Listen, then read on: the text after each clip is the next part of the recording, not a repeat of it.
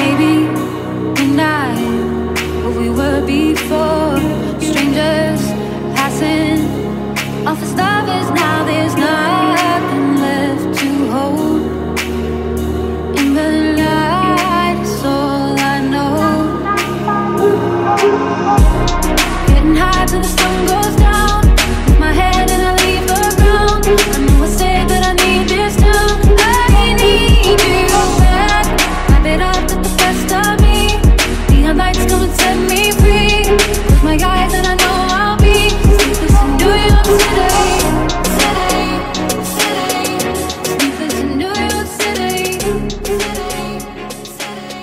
All right, first meal of the day. Two slices of gluten-free toast topped with my avocado spread. This is smoked sockeye pepper salmon. One beautiful over easy egg and an egg white scramble with mushrooms and uh, roasted red pepper. And I just put a little bit of this green dragon hot sauce on it from Trader Joe's. Oh, this looks so amazing. I'm gonna dig into this. What's going on guys? I'm sorry if the background noise is loud. We're watching Workaholics and I am super shiny, but I wanted to show you my little pre-workout meal. I'm doing an F45 class, so I gotta eat this really quick because I have to leave soon. But I wanted to show you what I'm doing and then I'm also gonna try to get some clips at F45 if I can. I'm gonna try. So I have 100 grams of kiwi, I have 10 grams of honey, and then I have one um, maple maple cinnamon or something, maple rice cake. It's a skinny pop rice cake. So I'm gonna eat this really quick. I love doing fruit and honey pre-workout. It gives me the best energy. So I'm gonna go. I will hopefully see you at F45.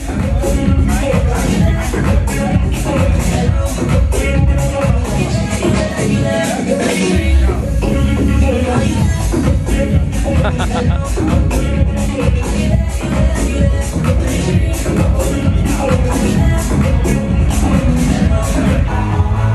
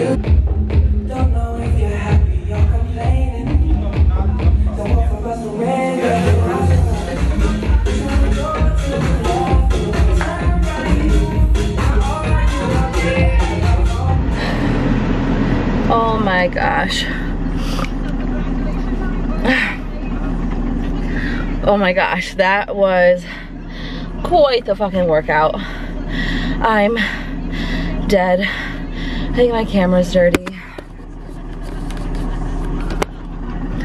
Oh my gosh, that kicked my ass like it always does. Wednesdays are my favorite. I don't even know. I always say Wednesdays are my favorite and then I go and I'm like, oh, this was my favorite day. Oh my God, you guys, if you have F45 in your area, you have to check it out. If you're in South Florida, come get a workout in with me. You get two free weeks to try it out, which is awesome. So generous because they know that once you try it, you're gonna get hooked. So I know I, I wore my heart rate monitor. Um, they send you an email at the end of the night um, telling you what your calorie burn was and every single workout in 45 minutes I burn over 400 calories so it's awesome. Um, so yeah 400 about 450 calories in 44 minutes. That's sick. That's amazing. So I'm gonna go home now and make some steak Brussels sprouts, and baked potato. So I will catch you at home. Um, probably, I don't know, don't want this video to go too long. Um, so maybe I'll just set the camera up and, and just uh, let it play while I'm cooking. Who knows if the battery will last, but I'll catch you at home for some steak and potatoes. So we got some sirloin steaks here. I seasoned both sides with pink salt and my absolute favorite steak seasoning and burger seasoning, Grill Master by Eat Meal Prep. You can use my code XTINA to save 15%. And I am preheating my stove on level 8 and then my oven is preheating to 350. I am going to simply put some cooking spray on the pan. I'm gonna sear them for two minutes and then I'm gonna flip it and then immediately put it in the oven for about three to five minutes depending on, you know, if I want it medium or medium rare. Um, I'm probably gonna leave them in, I would say four minutes and then I let it rest for five minutes. So um, I can put all that on the screen, but I've showed you how to cook steak time and time again on Instagram and in my meal prep recipe cards. Oven is preheated pan. You want it nice and hot because you want to sear it. You want a crust. You'll get a better crust if you add oil to the pan, but these steaks are, you know, have a higher fat content. So these are sirloin steaks, so I'm not to add any more oil. I'm just to use some spray. So that's that. I'm to make it with some Brussels sprouts. I'm just gonna steam them in the microwave because I'm way too freaking hungry to wait 30 minutes for them to roast in the oven. It's not happening and um, dinner will be served. So that's that. Look at this. Now this is a post-workout meal. This is 180-ish, 185 grams of russet potato, two servings of Brussels sprouts, which is 175 grams, and then I have about, I don't know, like six and a half ounces of sirloin steak. I kept it in the oven for five minutes and it is medium rare. That's how we like it. And it was a thick one, so I need to dive in. I'm like dying. I'm so hungry. Oh my God. Hey guys, so I wanted to just really briefly give you a little update on some tests that I got done. So I got my blood work done and I also got my resting metabolic rate tested. Now my blood work, not too sure how accurate this was because there was an issue when they were testing my blood. Um, what it, if I don't know what any of this means, so if you do, then that's awesome. If you don't, then you're in the same boat I'm in. It said um, I took a test for uh, my micronutrients to find out what vitamins and minerals my body was deficient in, um, like potassium, iron, zinc, all of those things. I wanna find out what I am deficient in so I can supplement my body correctly with what it needs and it said that there was a low number of lymphocytes received from my blood specimen, so they couldn't um, do the micronutrient test. So I'm not sure why they were able to do one test and not the other. So um, I'm going back this Thursday to get my blood work redone. Um, I'm not sure if I'm gonna be redoing this test. I hope so. I'm gonna ask, so I might have some new information soon regarding all of this stuff I'm gonna talk about, but what I'm just gonna focus on right now is my thyroid. If you guys follow me on Instagram, you did see my Instagram story possibly uh, talking about my, my low thyroid, my T3.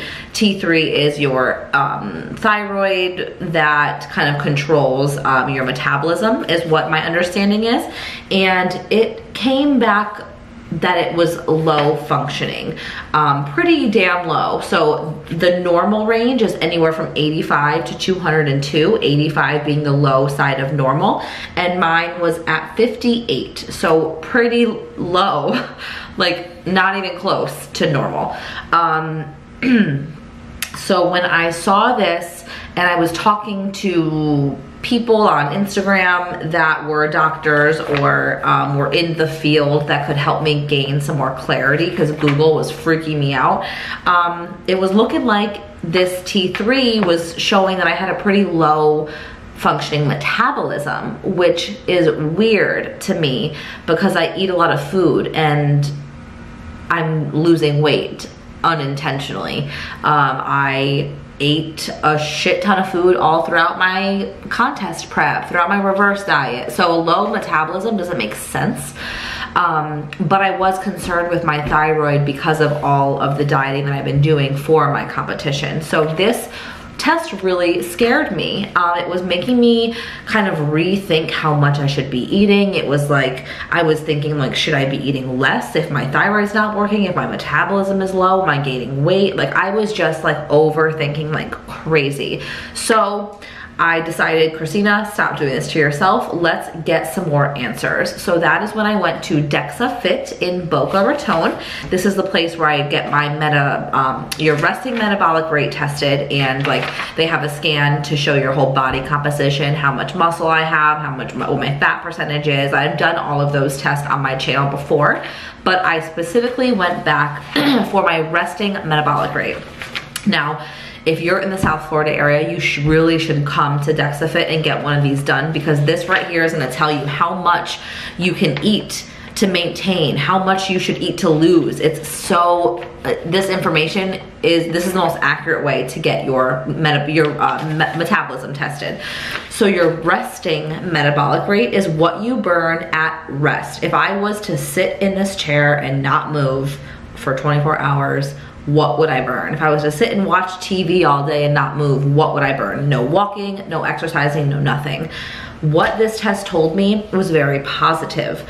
My resting metabolic rate is 1550. So I can eat about 1600 calories and that's what I burn doing nothing which is fucking awesome. That's high. There's a little chart right here and it's on, I'm at the fast. You know, I'm not at the fastest, but I'm past normal. I'm, my metabolism shows fast.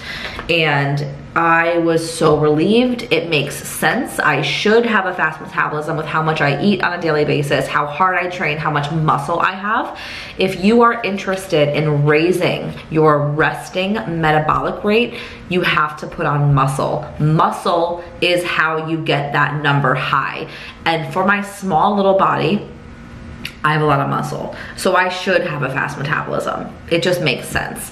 Um, when I eat more, I actually lose weight. My body just sucks it all up. My metabolism revs up. Um, so this was such a just a relief after thinking from this blood work that I had a slow metabolism. This just proves, no, you're okay. So what is really cool about this test is it kind of does um, a little example about what about what you burn based on um, your um, your results. Now this is definitely off because I burn I burn more calories um, during activity and my lifestyle than what it says I do but um, it's really cool this says with my exercise and my everyday just walking around and just being cooking and cleaning and taking my walks and doing laundry all of that stuff plus my exercise this says to maintain my weight I should eat 2,060 calories. And this was on, you know, the low end. This doesn't take in consideration my actual calorie burn during my workouts. Um, so I do wear a iWatch. I have an iWatch and I also have a Fitbit. I've been going back and forth between the two to determining which one I like better. And I kind of, kind of am enjoying the iWatch a little better because the iWatch tells you specifically your calorie burn for your exercise and your lifestyle combined. So that's what I wanna know. Now that I know my resting metabolic rate, I wanna know what do I burn during exercise and during me living my everyday life. All the walks that I take outside, when I walk my dog, when I'm walking up and down the stairs, if I'm cleaning, if I'm whatever. The iWatch gives you that number. So I was able to do a couple calculations and based on the information that I get from wearing my iWatch and I also have been working out with a heart rate monitor on recently because I wanted to get some concrete real like scientific information rather than just a guesstimate because the heart rate on your iWatch or on your Fitbit for all of the high intensity training that I do with my classes that I take and the way that I'm working out recently in the gym, um, my heart rate is too fast for the watch to read. So I did a little experiment. I did my watch and I did a workout and then I also had a heart rate monitor on and I burned over 200 calories more based on what my heart rate said than what my iWatch said. So that was an eye opener. And that was for like my high intensity lifts. When I was just lifting and I wasn't going, my heart wasn't going crazy, the calorie burn was about the same on my heart rate monitor and on my iWatch. So, um, it was kind of accurate in a sense, but also for high intensity training, my heart was just going too fast for this to read. So that's why I've been wearing a heart rate monitor just to gain more clarity and insight into what am I actually burning every day so that these tests can make a little bit more sense. Um, so if you I would definitely research in your area resting metabolic rate test centers, a place that can test your resting metabolic rate because you will gain so much information from that. And then if you wanna go even further, I would check out an iWatch or a Fitbit or an activity tracker to see what you burn on a day-to-day -day basis, you know, just to get an idea. So based on all this information that I've gathered, all of the calculations that I've done, if I work out once a day, I have to eat about 2,100 calories to maintain my weight. If I work out twice a day, which I do do, I lift and I do F45 classes because I just love F45, I have to eat about 2,500 calories to just maintain my weight. And I'm gonna be honest, I have been under eating, not on purpose, I just haven't been shoveling food in. I just eat when I'm hungry. I kind of have been having breakfast a couple hours after I wake up because I sit at my computer and work in the morning and I'm not moving, so I don't need a ton of food. So just my overall caloric intake has been lower ever since I've been trying to just intuitively eat.